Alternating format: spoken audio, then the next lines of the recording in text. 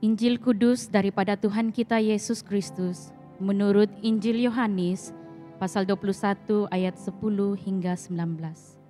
Sembah kepada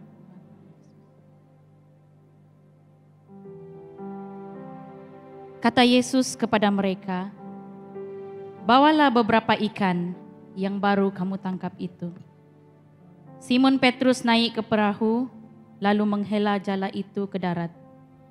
Penuh ikan-ikan besar, 153 ekor banyaknya, dan sungguh pun sebanyak itu, jala itu tidak koyak. Kata Yesus kepada mereka, Marilah dan sarapanlah. Tidak ada di antara murid-murid itu yang berani bertanya kepadanya, "Siapakah engkau?" Sebab mereka tahu bahwa Ia adalah Tuhan. Yesus maju ke depan, mengambil roti dan memberikannya kepada mereka. Demikian juga ikan itu. Itulah ketiga kalinya Yesus menampakkan diri kepada murid-muridnya sesudah ia bangkit dari antara orang mati. Sesudah sarapan, Yesus berkata kepada Simon Petrus, "Simon, anak Yohanes, apakah engkau mengasihi aku lebih daripada mereka ini?" Jawab Petrus kepadanya, "Benar, Tuhan, engkau tahu bahwa aku mengasihi engkau." Kata Yesus kepadanya, gembalakanlah domba-dombaku. Kata Yesus pula kepadanya untuk kedua kalinya, Simon, anak Yohanes, apakah engkau mengasihi aku? Jawab Petrus kepadanya, Benar Tuhan, engkau tahu bahwa aku mengasihi engkau. Kata Yesus kepadanya, Gembalakanlah domba-dombaku. Kata Yesus kepadanya untuk ketiga kalinya, Simon, anak Yohanes, apakah engkau mengasihi aku? Maka sedih hati Petrus karena Yesus berkata untuk ketiga kalinya, apakah engkau mengasihi aku? Dan ia berkata kepadanya, Tuhan, engkau tahu segala sesuatu. Engkau tahu bahwa aku mengasihi engkau. Kata Yesus kepadanya, Gembalakanlah domba-dombaku. Aku berkata kepadamu, sesungguhnya ketika engkau masih muda, engkau mengikat pinggangmu sendiri dan engkau berjalan ke mana saja kau kendaki. Tetapi jika engkau sudah menjadi tua, engkau akan mengulurkan tanganmu dan orang lain akan mengikat engkau dan membawa engkau ke tempat yang tidak kau kendaki. Dan hal ini dikatakannya untuk menyatakan bagaimana Petrus akan mati dan memuliakan Allah. Sesudah mengatakan demikian, ia berkata kepada Petrus, "Ikutlah aku." Inilah Injil Kristus. Terpujilah, Tuhan Yesus. Selamat pagi semua. Dan Tuhan besertamu. Ya, sebelum kita melihat di dalam firman Tuhan ya, ada satu permohonan di sini, yaitu uh, sementara saya masuk ke uh, di ruang ibadah tadi saya berjumpa dengan Dr. Nyo dan Dr. Nyo uh, dan tanya dia berapa uh, pint ya atau berapa bungkus darah yang sudah diterima pada hari ini. Ya, dia kata mungkin uh, sekadar 20 atau 20 lebih. Sasaran mereka adalah sekurang-kurangnya 40 bungkus. Oke, okay? jadi karena oleh karena masa sebab uh, uh, sebentar lagi mereka juga akan selesai dan uh, uh, pack up dan sebagainya. Kalau di antara kita, ya kalau di antara kita, saya tidak tahu sama ada mereka sudah capai sasaran mereka atau tidak buat hari ini. Kiranya ya uh, saya agak ya setengah jam uh, tadi sampai sekarang mungkin belum.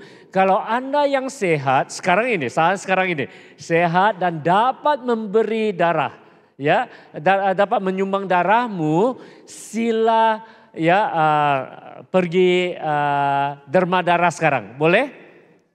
Ya kalau yang boleh ya saya tahu sekarang ini masa khotbah ya. Tapi ini adalah kelonggaran buat sementara saja. Sebab cepat tuh uh, untuk memberi darah. Kalau kamu yang masih sehat dan berani ya, ya ada orang yang uh, boleh bagi tapi takut ya. Tapi yang berani dan uh, juga yang dapat uh, beri darah ya sila ke untuk menderma darah. Kerana darahmu dapat men, uh, menyelamatkan tiga nyawa. Ada amin? Ya satu bungkus darahmu dapat menyelamatkan tiga orang tiga nyawa alright jadi ya uh, sumbanganmu sangat-sangat diperlukan ada amin oke okay. Alright, kalau yang dapat sajalah pergi ya, yang tidak dapat duduk diam-diam. Dan dengar firman Tuhan. Ada amin? Ya. Uh, untuk anak-anak kita ya jangan lari sini sana ya, uh, jangan ke seberang. Oh, sekarang hujan tidak dapat pergi. Ya, ada yang kadang-kadang saya tang, tertangkap ya uh, anak-anak kita ya uh, masa ibadah mereka curi-curi ke seberang ke sebelah ya. Jadi uh, So hari ini mari kita lihat firman Tuhan. Kata pada kawan sebelahmu, mari kita lihat firman Tuhan.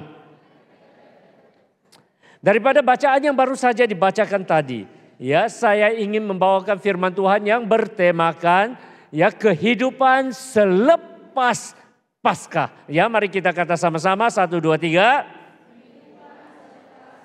Sekali lagi dengan suara yang lebih kuat, kehidupan selepas Paskah. Ya selepas pasca apanya yang ada. Ya kadang-kadang ya kebiasaannya adalah ya uh, kadang-kadang uh, kita cenderung ya uh, melihat apabila setelah besar kita sibuk semuanya merayakan semuanya seperti pasca atau Christmas lepas itu ya kita balik ke cara lama semuanya suam-suam kuku dan sebagainya ya jadi tidak harus dan tidak patut. Kerana ya hidup selepas pasca seharusnya ya adalah hidup yang lebih bersemangat. Ya, lebih bertujuan. Lebih sukacita. Kerana kehidupan Selepas pasca adalah kehidupan yang telah diberikan oleh Tuhan. Tahun uh, tahun pula, minggu yang lalu, ya bukan tahun lalu. Ya, minggu yang lalu kita telah belajar daripada firman Tuhan. Semua yang Tuhan Yesus harus genapi dan lakukan untuk keselamatan kita, dia sudah genapi semua. Dia sudah lakukan semua dengan sempurna. Ya. Pada hari Jumat dia mati untuk dosa kita dan pada hari Paskah dia bangkit untuk kita. Dan dengan kedua ya hari itu apa yang terjadi adalah ini keselamatan kita telah pun disempurnakan. Ya, ada pengampunan. Ada hidup baru. Dan Tuhan telah laksanakan dan juga sempurnakan semua masa lalu kita telah pun di diatasi ya masa depan kita sekarang ini uh, uh, masa sekarang ini Tuhan juga membimbing dan masa depan kita Tuhan akan terus membimbing. Semuanya telah pun dilaksanakan oleh Tuhan buat kita.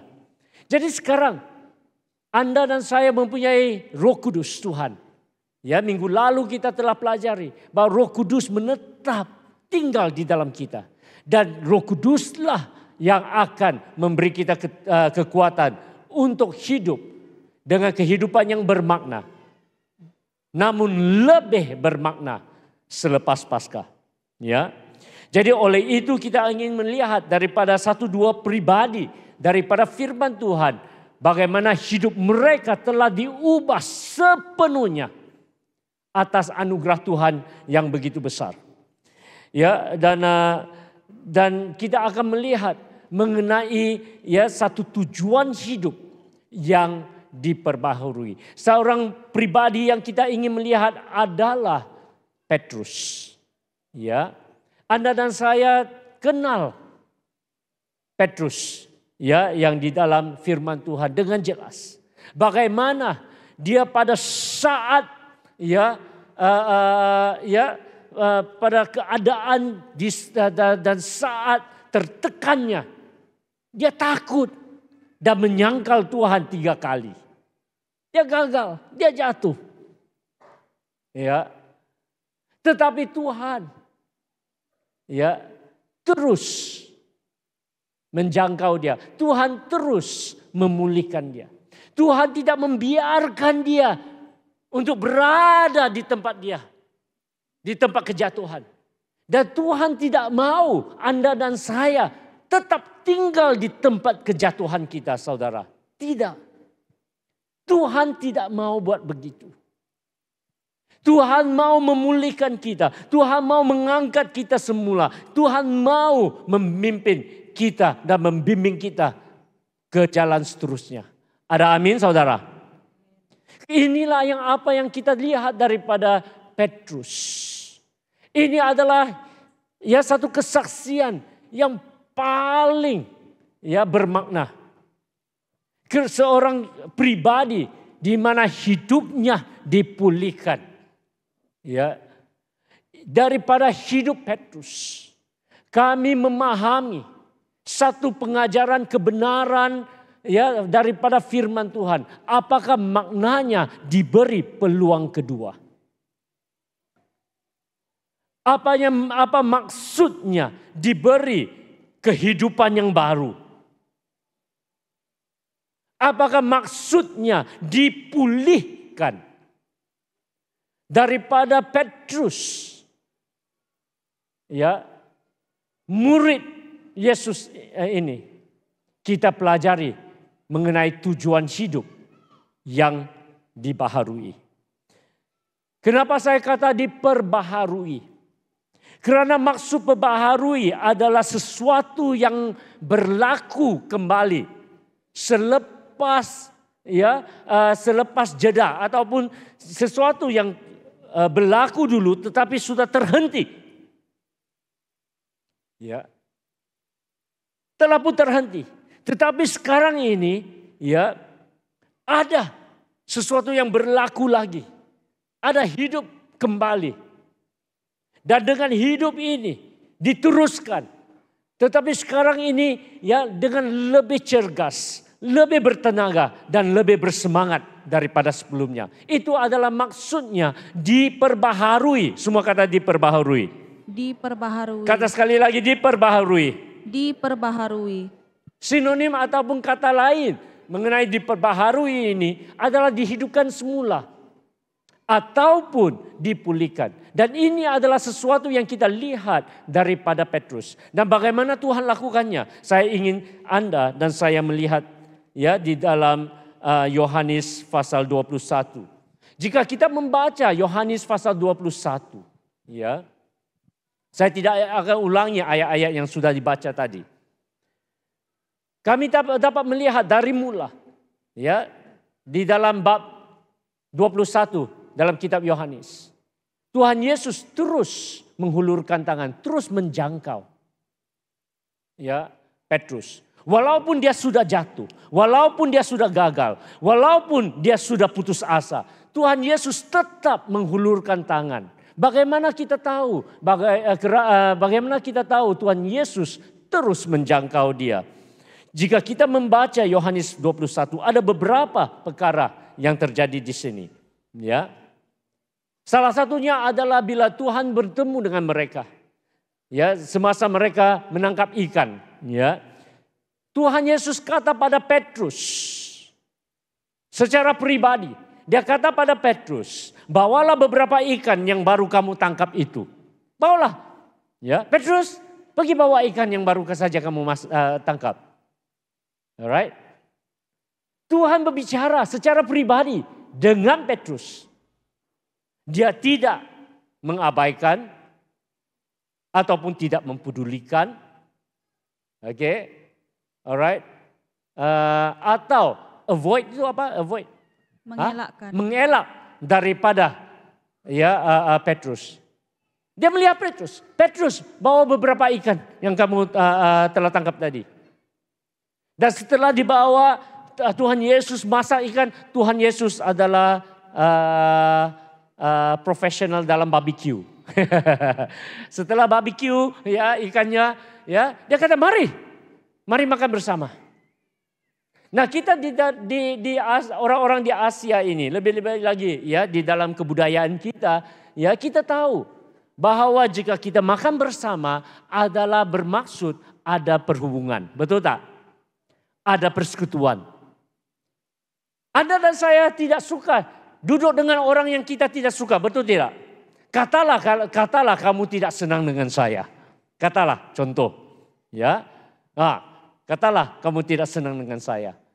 Jadi kalau uh, Reverend Majulus uh, ajak, eh mari kita makan dengan makan bersama dengan bishop. Kamu terus jawab, tak mau. Saya tidak mau duduk dengan dia. Saya tidak mau makan dengan dia. Saya pun tidak mau pandang dia.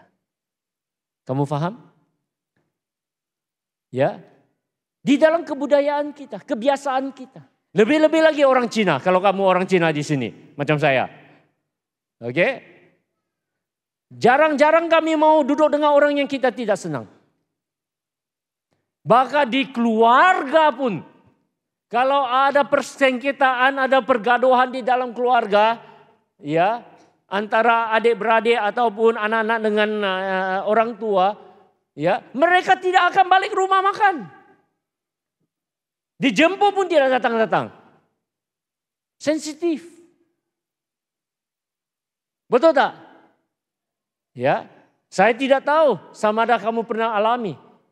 Tapi di kalangan orang orang Cina banyak. Tadi ya di dalam kebaktian bahasa Cina saya tanya, saya juga gunakan uh, contoh ini dan saya kata betul tidak? Oh banyak yang hmm, betul. Sebab mereka alami. Mereka alami. Kalau beradik bertengkar, ya sebab uh, saya rasa di dalam kebudayaan kita lebih kurang sama. Ya, kalau orang tua masih ada, biasanya Sekurang-kurangnya seminggu sekali semua balik kam, eh, balik rumah orang tua makan. Oke? Okay? Beradik semua datang. Biasanya. Kalau sudah bergaduh tak sampai-sampai. Ya, satu adik kata pada yang lain, kalau dia datang saya tak datang. Ho. Pernah dengar itu? Pengaprasan tuh. Ya, kalau dia datang, jangan harap saya datang. Itu kebiasaan kita. Tetapi Yesus, semua kata Yesus. Kata sekali lagi Yesus. Yesus. Yesus menghulurkan tangan kepada Petrus yang telah menyangkal dia.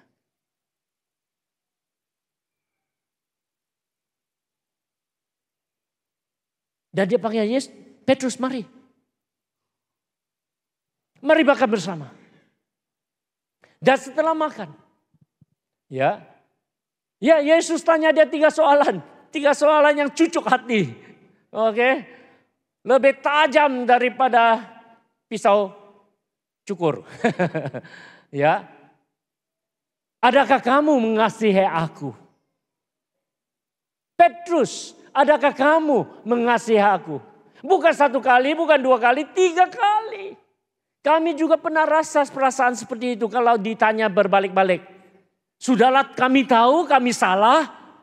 Ya, saya tidak tahu kamu pernah alami atau tidak, tapi saya sekurang-kurangnya pernah alami. Ya, sudahlah saya tahu saya berbuat salah, si mama ya, eh, si ibu ya, mama akan terus Bila bila saja jumpa, kalau cakap-cakap, cakap akan ingatkan aku kesalahan aku. Pernah alami itu? Ya, bukan satu kali, dua kali, tiga kali, empat kali, lima kali sampai sendiri pun tidak ada ya. Ma, aku tahu aku salah sudah, Pak. Kenapa meleter? Kenapa harus mengulangi lagi? Pernah rasa itu? Petrus mungkin tidak menjerit kepada Tuhanlah.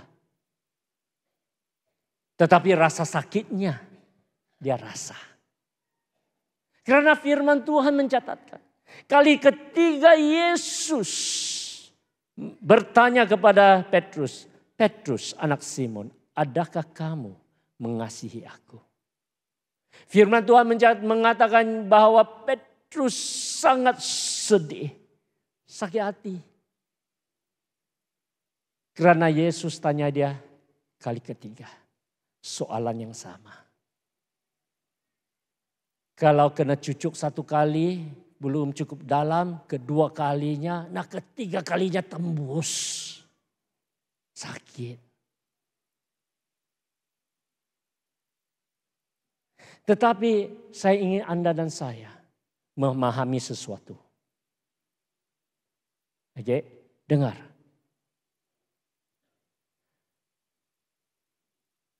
Apa yang Tuhan kata pada Petrus selepas dia tanya Petrus, kata-kata Yesus itu adalah kata-kata penyembuhan, adalah kata-kata pemulihan, adalah kata-kata ya di mana Tuhan ya renew, Tuhan memulihkan, membaharui tujuan hidup. Petrus sekali lagi. Tiga kali Tuhan tanya, adakah kamu mengasihi aku? Tiga kali Tuhan berkata kepada Petrus, gembalakanlah domba-dombaku, gembalakanlah domba-dombaku, gembalakanlah domba-dombaku. Bila Tuhan berkata, menyatakan kepada Petrus, domba, uh, uh, uh, apa nih, gembalakanlah domba-dombaku. Apa yang Tuhan Yesus berikan kembali kepada Petrus adalah memberi Petrus tujuan hidupnya kembali. Karena sebelum itu apabila Petrus jatuh, dia terasa bahwa tujuan hidupnya semuanya telah pun berkecai. Semuanya habis, berhenti. Tidak ada makna lagi untuk hidup, tidak ada tujuan lagi.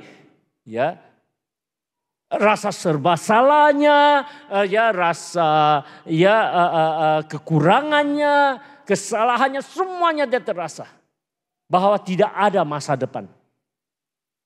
Tetapi Yesus berkata kepadanya tiga kali, gembalakanlah domba-dombaku. Apa yang dimaksud Tuhan? Tuhan mengembalikan kepadanya tujuan dan makna hidup lagi bahwa Petrus kamu dapat dipulihkan, kamu akan dipulihkan. Dan di dalam pemulihanmu lakukan apa yang saya ingin kamu lakukan. Amin saudara. Amin saudara. Minggu yang lalu ataupun satu dua minggu yang lalu mungkin kamu terdengar ya uh, kamu telah dengar apa yang saya pernah uh, saya memberi contoh Apakah yang Tuhan lakukan kepada Petrus adalah mengembalikan kepada dia suaranya sekali lagi. Kamu dan saya pernah alami. Bila kami jatuh, bila kami gagal, ya kami bukan saja rasa serba salah, kami rasa bahwa kami tidak punya hak lagi untuk bersuara. Kadang-kadang kalau kami mau cakap pun rasa, eh janganlah apakah aku ini? Siapalah aku ini? Kami hilang semuanya. Ya. Segala hormat yang kami ada semuanya hilang. Apalah aku nih sekarang? Tiada suara, tiada kewibawaan, tiada semuanya semua hilang. Suara pun hilang tidak dapat bersuara lagi, tidak layak bersuara lagi. Amin saudara. Tetapi apa yang Tuhan lakukan kepada Petrus adalah memberi dia kembali suaranya. Supaya Petrus mempunyai peluang kedua untuk bersuara lagi. Tuhan memulihkan dia. Supaya dia dapat bersuara lagi. Inilah saudara. Anugerah Tuhan.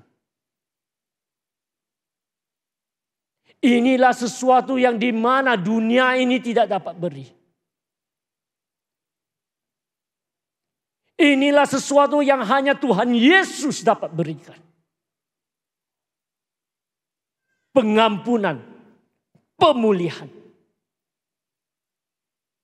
Inilah anugerah yang terbesar Anda dan saya boleh miliki. Karena Tuhan sanggup. Kami tidak layak. Kami tidak layak. Tidak berhak meminta. Apalagi menuntut. Tetapi Tuhan berikan. Tuhan berikan. Semula. Amin saudara. Ada pemulihan di dalam Tuhan. Ada kehidupan selepas Paskah.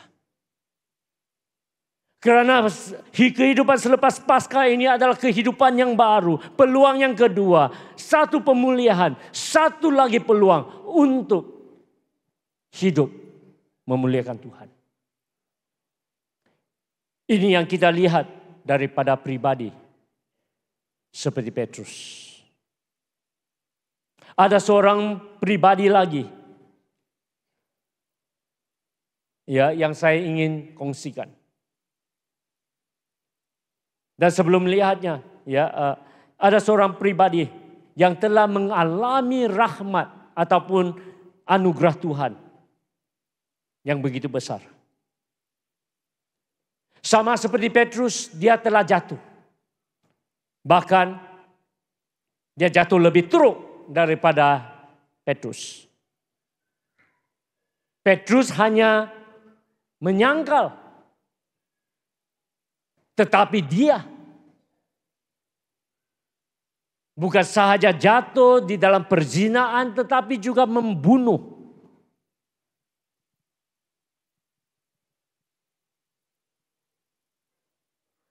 Dan setelah dia ditegur oleh Nabi Nathan, dia sedar. Dan dia bertobat. Dan Tuhan pulihkan dia. Dan di dalam Mazmur 32. Sebagaimana yang saya katakan tadi, suaranya kembali. Dia dapat bersuara kembali. Dan pribadi ini mulai nyanyi kembali. Di dalam Mazmur 32 dia menceritakan, ya dia menyaksikan, ini adalah kesaksiannya mengenai perjalanan hidupnya. Dari kejatuhannya sampailah ke pemulihannya. Dan kita dapat belajar daripada dia. Dan mari kita belajar beberapa kebenaran di dalam hidupnya. Ma, ya, Daud, Raja Daud bermula dengan menyaksikan akan kebahagiaan hidup yang diampuni. Itu adalah yang pertama. Dia menyaksikan akan kebahagiaan hidup yang diampuni. Di dalam Mazmur pasal 32 ayat 1 dan 2, mari kita baca dengan suara yang kuat. Kamu tolong saya baca sebab saya sudah khotbah ya eh, pagi, tadi dua khotbah ya uh, dan nanti ada satu kebaktian lagi ya uh, minggu ini saya saya sapu semua lima kebaktian. Oke, okay, uh, suara saya pun sudah Ayat dan satu dan kedua kamu tolong baca satu dua tiga dari Daud nyanyian pengajaran. Berbahagialah orang yang diampuni pelanggarannya, yang dosanya ditutupi. Berbahagialah manusia yang kesalahannya tidak diperhitungkan Tuhan dan yang tidak berjiwa penipu. Baca sekali lagi. Ya satu dua tiga dari, dari Daud, Daud nyanyian, nyanyian pengajaran. pengajaran. Berbahagialah orang yang diampuni pelanggarannya, yang dosanya ditutupi. Berbahagialah manusia yang kesalahannya tidak diperhitungkan Tuhan dan yang tidak berjiwa penipu. Daud bermula dengan perkataan ini.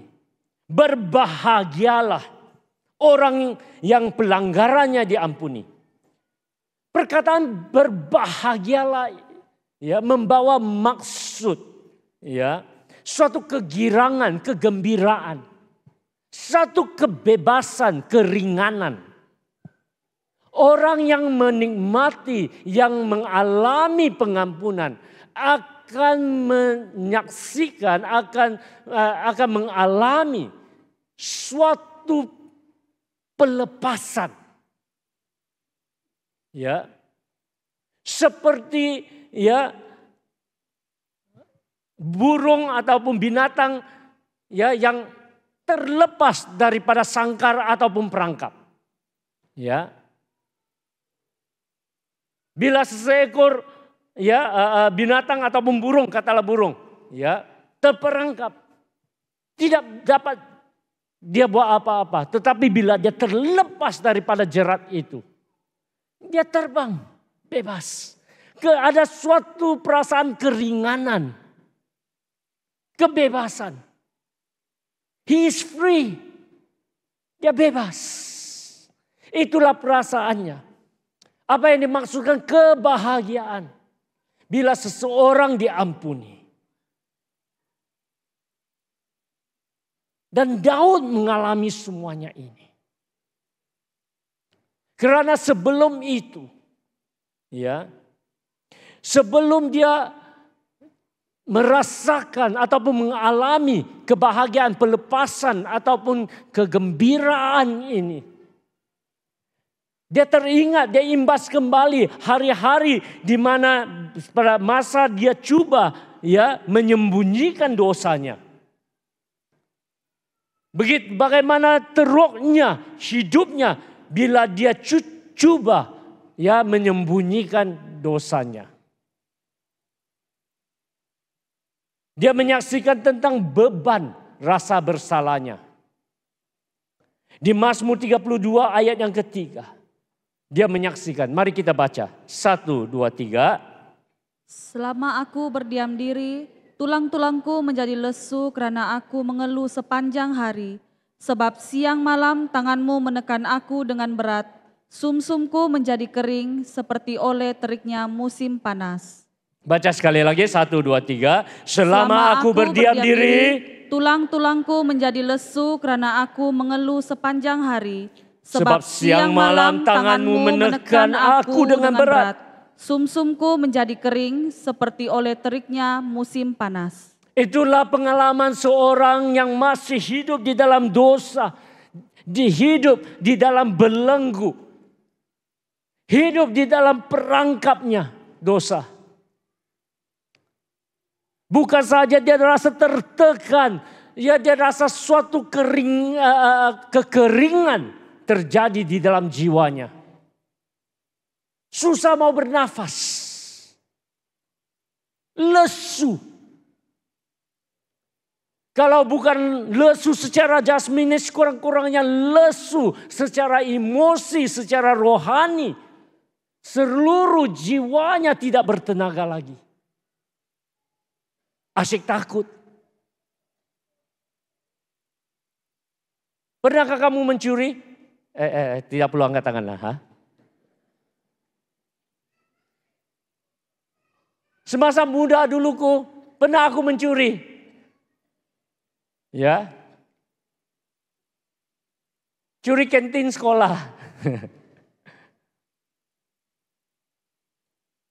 Ada beberapa kami Ya, yang nakal-nakal dulunya. Eh dulu saya pun nakal, oke? Okay? Alright. Kami pergi mencuri. Lepas itu bila dilaporkan ke uh, prinsipal, ya bahwa ada ya pelajar-pelajar mencuri ya uh, kantin sekolah. Ah, prinsipal gabung semua assembly ya di assembly Kata ada pencuri di tengah-tengah kita. Nah kami ya kaku tidak berani angkat kepala ya. Bila prinsipal suruh prefeknya pergi memeriksa nggak tahu apa yang periksa lah sebab barang semua sudah makan. Ya tapi saya masih ingat lagi di kami beberapa kami ya kan kami semua berbaris di sekolah. Bila prefek itu jalan lalui kami, aduh perasaannya. Kamu paham tidak? Kamu takut. Prefek itu kata, eh kamu yang mencuri. Sebab kami tidak tahu sama ada guru tahu atau tidak, prefek tahu atau tidak. Akukah orangnya? Rasa cemasnya, ketakutannya di dalam gementar. Susah mau bernafas. Susah mau hidup. Ini hanya curi kenting sekolah. Apalagi yang lebih teruk. Kamu paham? Pernah rasa seperti sedikit sebanyak seperti itu? Perasaannya. Apa yang Daud rasa? rasa bersalah ya akan membawa kesannya saudara. Dari segi rohani, emosi, dan juga fisikal. Ada orang yang jatuh sakit gara-gara serba salah. Dan ketakutan terjadi. Daud berkata, selama aku berdiam tulang-tulangku menjadi lesu. Tetapi syukur, puji atas anugerah Tuhan yang begitu besar.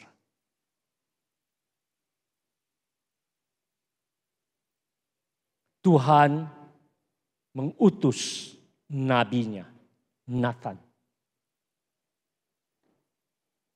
Untuk menegur dan memanggil Daud keluar daripada perangkap dosa. Syukur. Daud mendengar, tidak menafikan, tidak menolak. Tetapi dengan rendah hati menerima teguran. Dan melangkah keluar daripada dosanya. Dan Daud menyaksikan di dalam ayat-ayat seterusnya pintu kebebasan. Di mana dia telah lalui. Ayat kelima, mari kita baca. Satu, dua, tiga. Maka Dosa, dosaku ku beritahukan kepadamu. Dan, dan kesalahanku tidaklah ku sembunyikan. Aku berkata, aku akan mengaku kepada Tuhan pelanggaran-pelanggaranku. Dan engkau mengampuni kesalahan kerana dosaku. Saudara-saudari inilah ayat lima ini adalah titik perubahannya. Ayat kelima ini adalah titik pemulihannya. Sebelum ini dia terbelenggu. Dan pada ayat yang kelima setelah dia mendengar semua teguran dan dia menerima dan dia datang melangkah kepada Tuhan. Itu saat pelepasan. Saat kemerdekaan saat pemulihan. Dosaku ku beritahukan kepadamu, kesalahanku tidaklah kusembunyikan. Aku berkata, aku mengaku kepada Tuhan pelanggaran pelanggaranku. Dan dengar, dan engkau mengampuni kesalahan kerana dosaku. Engkau mengampuni kesalahan dosaku. Saat Daud menghadapi kejatuhannya, saat Daud mengambil tanggung jawab atas dosanya saat Daud ya memaling kepada Tuhan dan mengaku dosanya saat itu. Pengampunan terjadi. Pengampunan terjadi. Dan saat itu ayat ini berkata di dalam Mazmur ayat 6 dan ke-7 menyatakan bahwa keyakinan tujuan hidup dikembalikan. Penyembuhan berlaku, pemulihan berlaku. Dengar kesaksian Daud. Ayat 6 dan ayat ke-7. Mari kita baca. Satu, dua, tiga. Sebab itu hendaklah setiap orang saleh berdoa kepadamu selagi engkau dapat ditemui. Sesungguhnya pada waktu banjir besar terjadi, itu tidak melandanya. Engkaulah persembunyian bagiku, terhadap kesesakan engkau menjaga aku, engkau mengelilingi aku, sehingga aku luput dan bersorak. Jadi di sini menyatakan ke satu kesaksian, satu keyakinan bahwa hidup yang telah dipulihkan. Kami sekali lagi dapat mengangkat ya kepala kita menghadap Tuhan. Kita dapat bersuara memuji Tuhan. Karena Tuhan telah pun mengampuni kita. Tuhan menjadi tempat persembunyian kita. Daripada segala tuduhan si iblis. Iblis akan terus menuduh. Iblis akan terus menunjuk jari atas kita. Kita yang pernah berdosa. Dan di dalam dosa kita akan selalu alami. Bisikan-bisikan tuduhan-tuduhan iblis di dalam telinga kita. Betul? Ah, kamu tidak bergunalah. Ah, kamu tidak layaklah. Ah, jangan lupa kamu dosalah dan sebagainya. Tetapi firman Tuhan berkata, Daud berkata, saat dia melangkah kepada Tuhan, saat dia memeluk Tuhan, saat dia mengakui dosanya, dan saat Tuhan merangkulnya, Tuhan menjadi tempat persembunyian dia. Amin. Amin. Inilah yang Tuhan lakukan untuk kita. Dan inilah satu keistimewaan di mana Anda dan saya ada di dalam anugerah Tuhan. Kamu dan saya tidak akan dapat ini daripada tempat lain. Hanya di dalam anugerah kasih karunia Tuhan. Kerana Allah kita, Tuhan Yesus satu-satunya yang sanggup datang merangkul kita, mengangkat kita. Dan itu adalah maknanya pemulihan. Saudara-saudari yang dikasihi Tuhan. Inilah maksud pengampunan Inilah maksud pemulihan sesuai dengan firman Tuhan.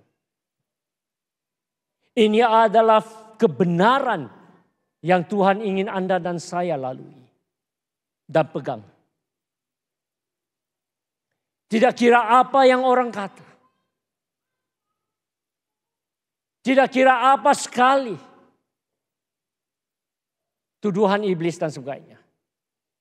Kebenarannya adalah ini. Sesiapa yang berlari kepada Tuhan. Sesiapa yang sedar mengaku dosa mereka. Tuhan akan mengampuni.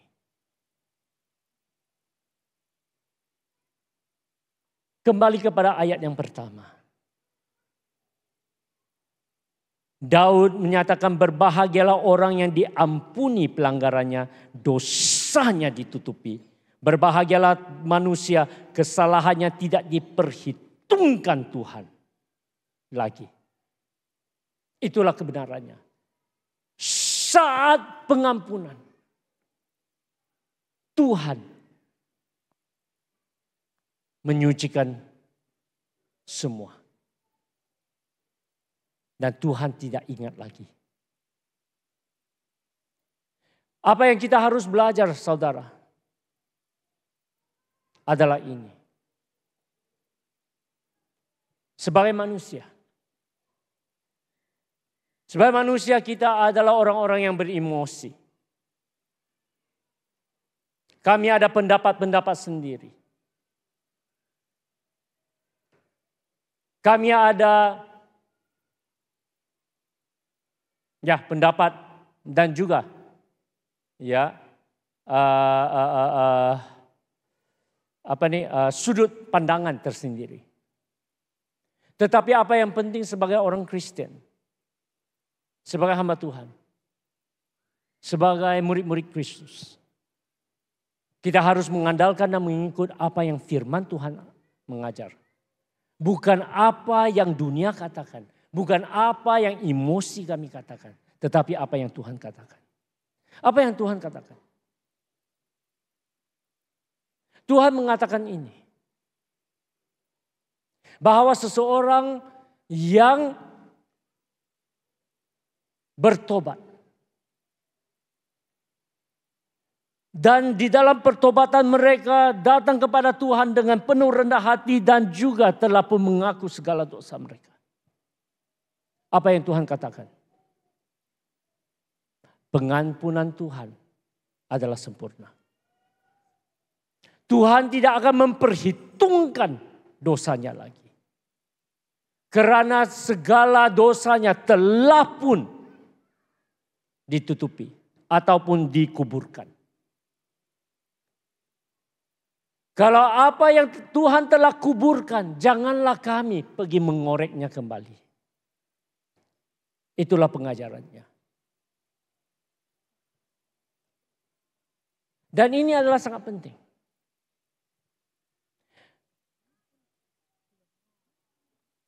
Dan kita telah melihat anugerah ini berlaku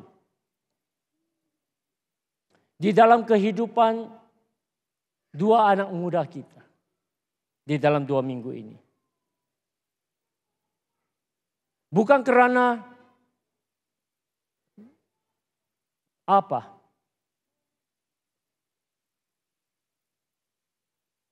Secara kebetulan, walaupun ini adalah sesuatu yang tidak dikehendaki, tetapi terjadi. Tetapi mereka datang kepada Tuhan.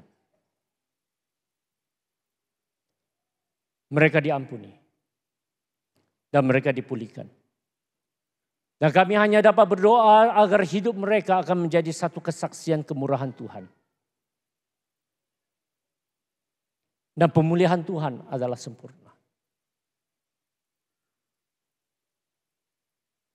Pemulihan Tuhan adalah penuh. buat hidup mereka.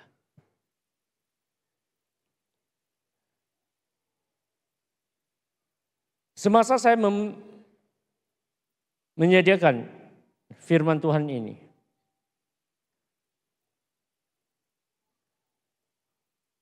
sebenarnya kemarin Tuhan mengingatkan saya satu petikan. Apa yang terjadi di dalam keluarga Warden dan juga kepada Derek dan Rosalind yang sedia, yang kami setelah pun sedia maklum ya. Agak susah juga saya mau katakan ini ya. Karena mereka di tengah-tengah kita. Setiap kali saya mengatakan mereka terasa pukulannya secara jujur nyanyi agak tidak adil buat mereka tetapi mereka lalui ini semua. Tapi ada satu pengajaran lagi yang saya ingin bawakan mengenai. Sebab kalau kita ingin belajar menjadi satu community, satu masyarakat, satu gereja yang mengandalkan firman Tuhan secara penuh. Dan bukan sesuka hati. Inilah yang kita harus lakukan. Di dalam firman Tuhan ada mengajar kita. Sebagaimana yang saya katakan kemarin saya teringat. Perumpamaan yang Tuhan Yesus katakan. Yaitu mengenai ya anak yang sesat, anak yang hilang. Dua ada dua beradik. Kamu tahu cerita itu kan? Satu durhaka, ya. Kenapa durhaka? Karena bapak belum mati, dia sudah minta ya haknya dan juga pusakanya. Dan dia meninggalkan keluarga, hidup berfoya-foya dan sehingga semuanya habis lenyap, hilang semuanya. Seorang lagi tetap bersama Bapak. Tetap bersama Bapak. Taat pada Bapak, ikut Bapak, semuanya. Ceritanya diteruskan. Anak ini bila sudah hilang semuanya, sedar. Semua kata sedar. Dan dia sedar kesalahannya. Dan dia kata saya mau kembali kepada Allah Bapa. Eh, kepada Bapaknya, bukan Allah Bapa. Ya, betul lah prinsipnya adalah Allah Bapa. Dia kembali. Bapaknya dapat nampaknya dari jauh. Dia melangkah satu, bapaknya lari dua langkah. Dan datang merangkulnya.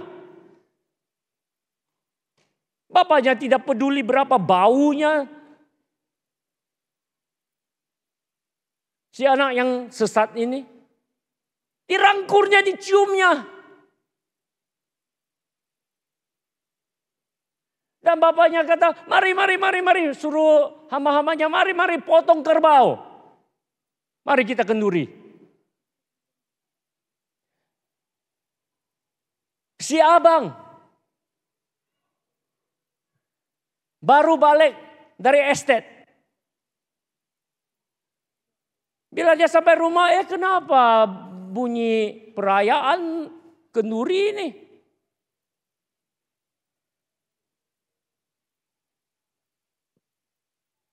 Dan hambanya berkata orang uh, uh, ya uh, uh, apa nih uh, pekerjanya berkata, oh adikmu kembali. Jadi bapak potong kerbau dan uh, merayakan pengembalian anaknya. Si abang tersinggung Si abang marah. Tidak adil. Wah, syok-syoknya dia pergi durhaka foya. Sekarang kembali. Wah, ada pati. Aku di sini setia susah-susah ikut Bapak. Seekor kambing pun Bapak tidak bagi.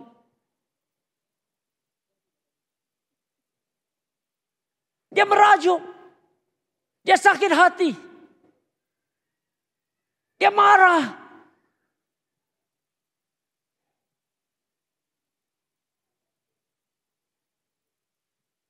Dia imo.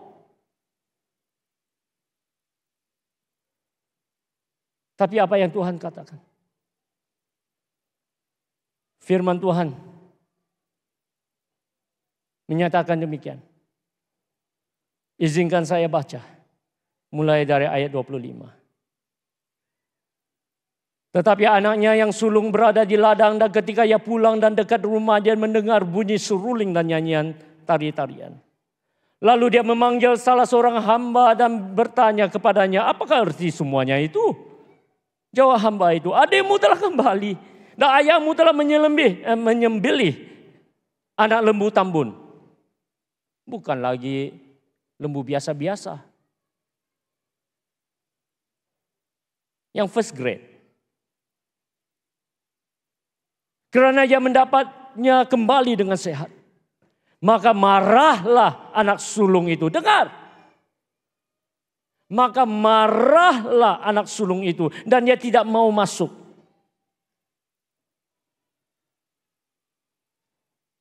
Lalu ayahnya keluar dan berbicara dengan dia. Tetapi dia menjawab ayahnya katanya, Telah bertahun-tahun aku melayani Bapak. Dan belum pernah aku melanggar perintah Bapak. Tetapi kepadaku belum pernah Bapak memberikan seekor anak kambing untuk bersuka cita dengan sahabat-sahabatku. Bolehkah kamu rasa keperitan anak sulung ini?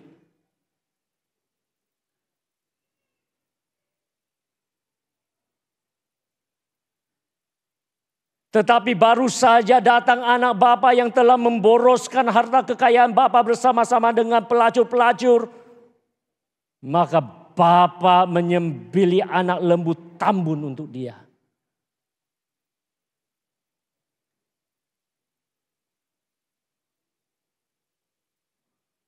si anak durhaka ini yang tidak berguna ini kamu sembilih lembu untuknya.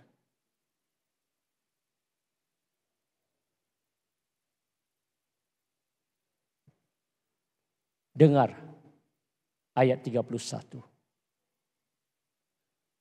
Kata ayahnya kepadanya, anakku, Engkau selalu bersama-sama dengan aku. Dan segala kepunyaanku adalah kepunyaanmu. Dengar. Karena saya akan menjelaskan sedikit sebanyak mengenai ayat ini. Karena ini adalah ayat kunci kepada semua yang setia mengikut Tuhan. Tuhan kata, anakku, engkau selalu bersama-sama dengan aku. Dan segala kepunyaanku adalah kepunyaanmu.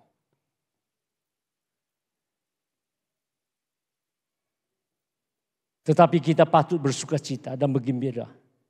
Kerana adikmu telah mati dan menjadi hidup kembali. Dia telah hilang. Dia telah sesat. Dia telah jatuh. Tetapi didapat kembali.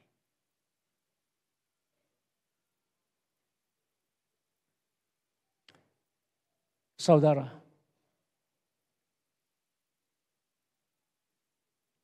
kadangkala bila kita melihat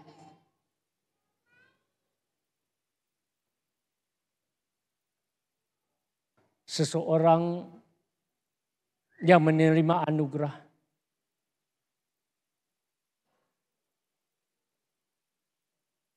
Dan menerima pelayanan seperti Bapak ini memberi pelayanan kepada anak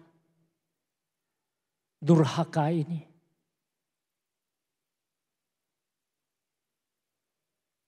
Banyak antara kita seperti anak sulung.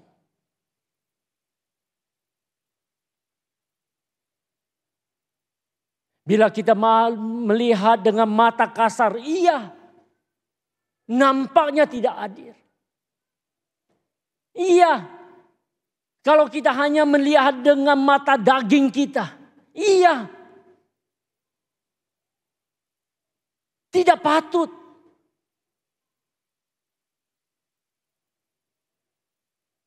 Kalau gitu, baik aku terlanjur terus saja dan dosa saja.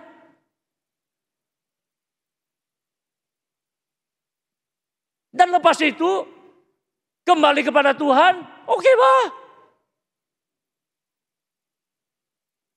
Adakah itu maksudnya? Kalau kamu hanya melihat dengan mata kasar, dengan mata manusia, dengan mata daging, itu adalah kesilapan yang besar.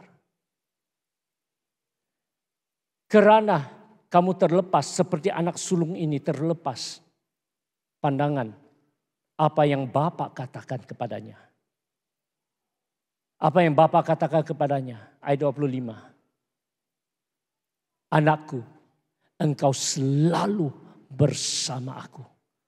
Dan, selalu, dan segala kepunyaanku, kepunyaanmu. Jangan hilang apa yang kamu ada. Saya ingin memberi contoh supaya kita lebih dapat memahami apakah perumpamaan ini yang dikatakan Yesus. Saya telah menjemput dua saudara. Siapa mereka? Oke, okay, come. Oke, okay, the two brothers. Give me the red cloak.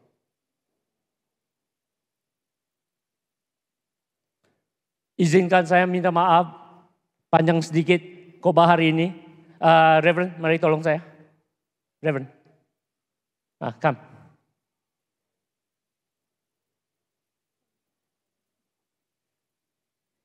Saya percaya kamu lebih besar dari dia kan? Jadi kamu anak sulung lah ya. Kamu anak bungsu ya? Oke. Okay. Ya, adik lah ha. Oke. Okay. Contoh saja ya. Tapi contoh ini terasa pukulannya tuh. Oke. Okay. Alright, sila pakai ini. Ini adalah satu tanda kedudukan. Oke, okay? tanda kedudukan. Reverend pun tidak pernah pakai. Macam mana ini? Oke, oke, oke, oke, oke, tahu sudah. Oke, oke. Oh, begini, lap saja masuk. Ah, oke, okay. alright. Alright, alright, alright, alright. Ini adalah kedudukan mereka. Ya, Wih, tidak pandai? Saya lebih pandai ini. Nah, oke. Okay. Ah. Eh salah, salah, salah bang. Gini. Gini dong.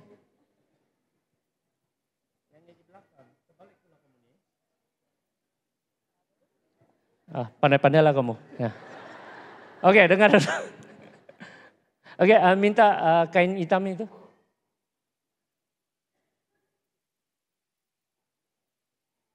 Ya, ya, just one. Uh, open it up. Ya. Sabar ya, sabar. Karena ini sangat penting. Ya.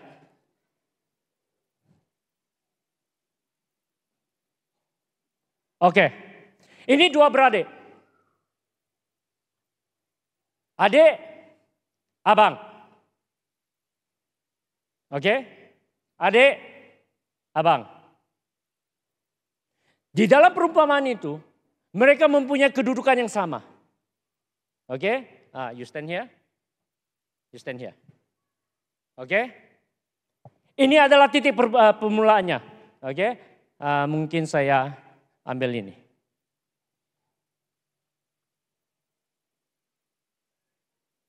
Ini adalah titik permulaannya. Come, you two come here. Oke, okay, satu berdiri sini, satu berdiri di sini. Ceritanya sebagaimana yang saya katakan tadi. Si anak yang bungsu ini, anak yang kedua ini, mendurhaka. Kata orang tidak begitu manis, tidak begitu sedap dengar, kurang ajar. Bapak belum mati sudah minta pusaka. Kurang ajar tidak?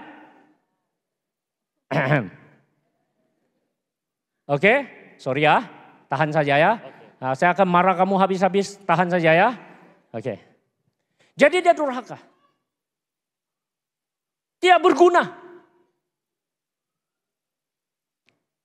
Dia minta.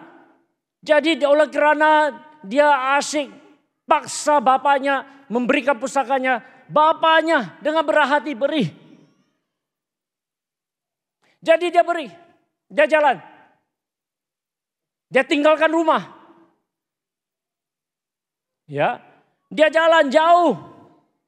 Berfoya-foya. Ya, makan, minum, pelacur, semuanya dia lakukan.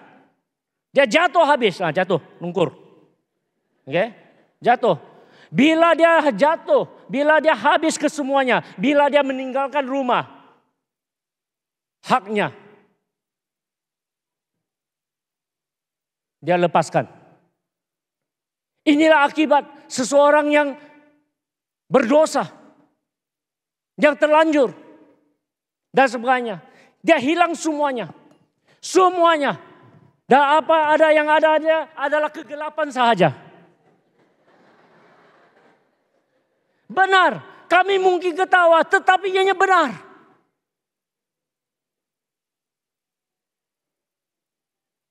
Apa yang ada ada hanya dosa dan kejatuhan.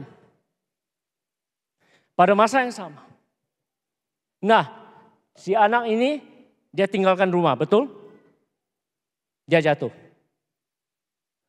Sementara anak dengan bapak masih lagi terus berjalan. Menjalani hidup mereka dengan setia. Dia jalani hidup dengan setia. Nah, pokoknya adalah ini. Dengar. Saatnya kesedaran terjadi. Anak ini sedar. Anak ini sedar. Dia adalah berdosa. Dan dia ingin kembali kepada Allah Bapa. Dan dia kembali. Dia kembali. Nah, kamu jadi bapak, kamu jadi bapak. Dari jauh kamu nampak dia, dari jauh. Oke, okay? oke, oke. Alright. Sebagaimana yang saya katakan, dengan segala kesalahan, rasa serba salah, dia melangkah demi langkah, dia pulang dengan kebe, dengan dengan bebannya. Bapak dari jauh nampak dia lari. Nah, mari lari, lari, lari, lari. Rangkul dia. Cium dia.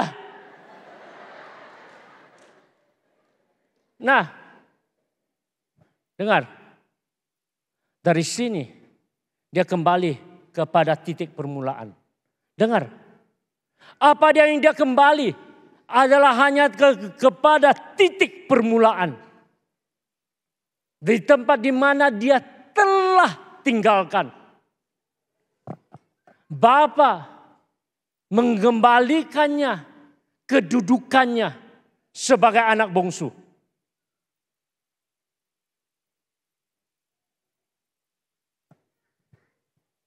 Dengar, ini adalah bezanya.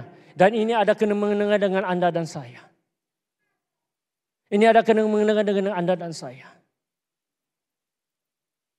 Si anak sulung. Marah.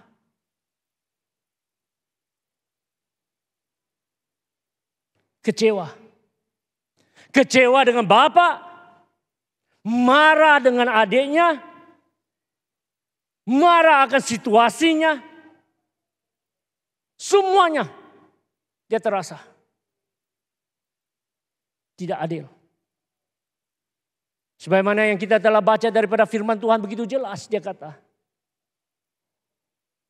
Si anak durhaga ini sudah boros semuanya melakukan perkara-perkara yang memalukan sekarang kembali. Kamu bagi dia kenduri pula. Aku bagaimana? Dengar kata Bapak kepadanya. Ayat 25. Ayat 25 mengatakan. Ayahnya kata kepadanya anakku. Anakku Engkau ada bersama-sama dengan aku. Dan segala yang aku punya adalah kepunyaanmu. Dengar saudara. Bila kita terasa bahwa tidak adil, bukannya tidak adil. Kerana, kerana selama ini kamu telah pun maju di dalam kesetiaanmu. Kamu paham tidak? Anak ini hanya dapat kembali kepada titik permulaan. Tetapi sebagai anak sulung telah pun maju. Apakah ada ini?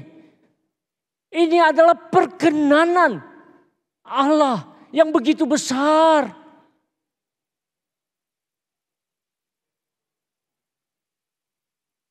Sebelum kita react ya dengan marah mengatakan lebih baik aku buat sama seperti dia ya pergi boros, pergi melacur, pergi apa saja. Dan lepas itu kembali, eh sekurang-kurangnya ada lembu tambun.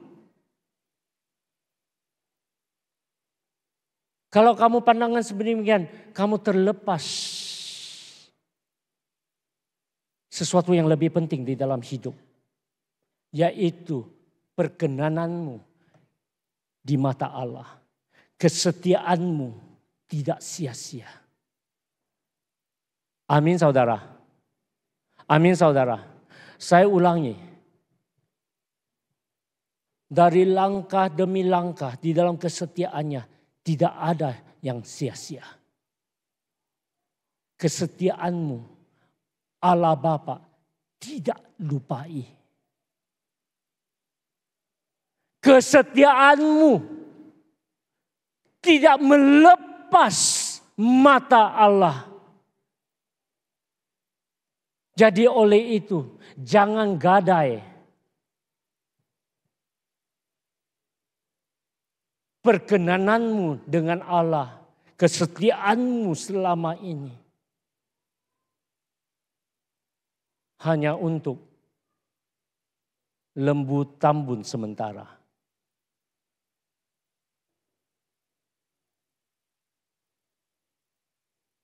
Jangan buang semuanya ini. Hanya perasaan tidak adil dan marah.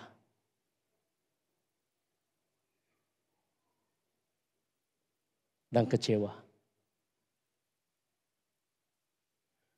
Bapak mengatakan kepada anak sulung, anakku,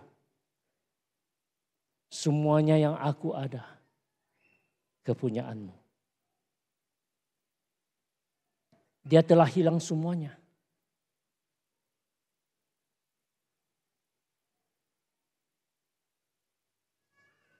Dengar, di dalam kerohanian, di dalam kerohanian, jangan salah anggap bahwa apabila si anak bungsu ini di, uh, di uh, saya kata anak bungsu lah, uh, si anak bungsu ini dipulihkan, dia setara dengan anak sulung. Tidak. Sebab di mata Allah dia hanya di titik permulaan yang dia melepaskan kedudukannya sebelum daripada kejatuhannya. Dia harus bekerja keras semula untuk mendapat kembali kepercayaan, kehormatan, dan sebagainya.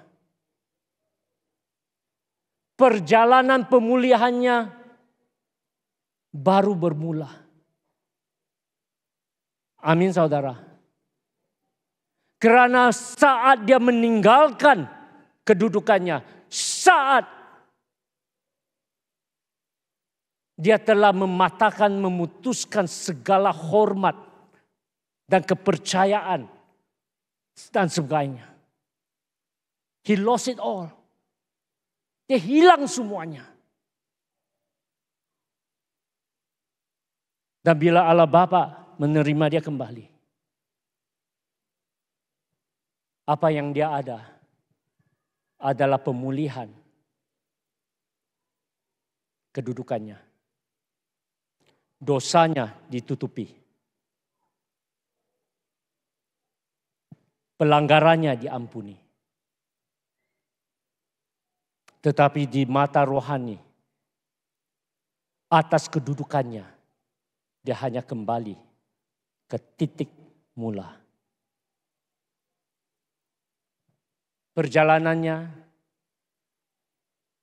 sekarang ini jauh daripada abangnya.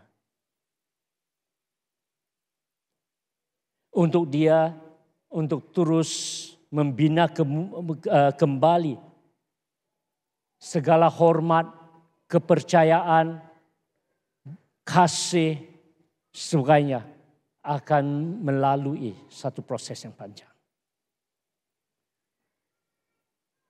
Tetapi si abang semuanya ada. Dan lebih. Untuk kamu yang setia. Untuk kita yang setia.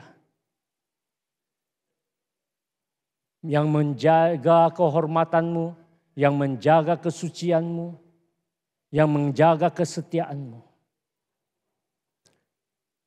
Saya hanya dapat berseru kepadamu.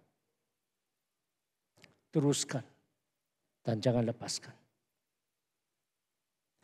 Karena kesetiaanmu tidak sia-sia.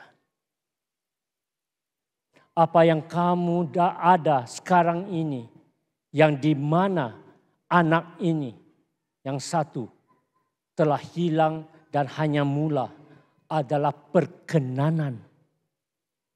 Di mana kamu berkenan di mata Allah. Itu bezanya. Amin saudara. Perbezaan antara kedua mereka adalah kedudukannya anak sulung ini. Perkenanan di mata Tuhan adalah lebih tinggi daripada yang itu. Inilah hakikatnya, inilah kebenarannya, inilah kedudukannya. Jadi oleh itu saya merayu kepada Anda semua. Dengan rendah hati saya merayu kepada Anda semua. Jangan oleh kerana perasaan kecewa dan marah dan sebagainya. Kami buang semuanya ini. Dan saya kata kepada Anda semua sebagai anak-anak sulung di mana kamu hari ini adalah anak-anak sulung. Dan saya merayu kepada Anda. Jangan pandang rendah kesetiaanmu selama ini. Jangan pandang remeh kesetiaan, kesucian, dan juga kehormatan yang kamu pegang dan ikuti selama ini. Karena di mata Tuhan, kamu lebih berkenan. Dan Allah Bapa mengatakan kepadamu, segala-galanya yang aku ada adalah kepunyaanmu. Dan lebih dari itu, engkau tetap bersamaku. Amin saudara. Amin saudara. Tapi apa yang kita ingin juga dengar ayat 26. Uh, uh, ayat uh, uh, di oke okay, alright. Ayat 32. Dan dia kata, kita patut bersuka cita dan bergembira.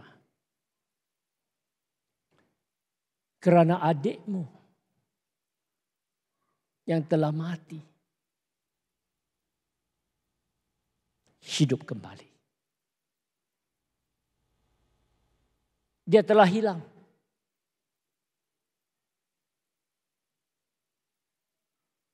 Didapatkan kembali. Amin saudara. Inilah sikap yang kita harus ada dan bina di dalam hidup kita.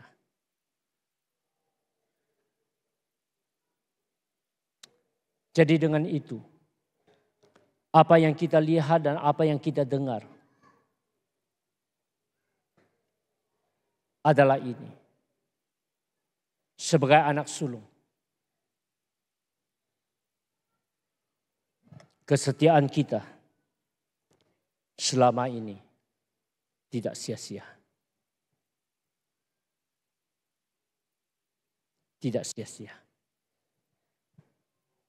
Dan Tuhan menghargai. Tuhan menghormati. Tuhan berkenan atas kesetiaan kita. Amin saudara.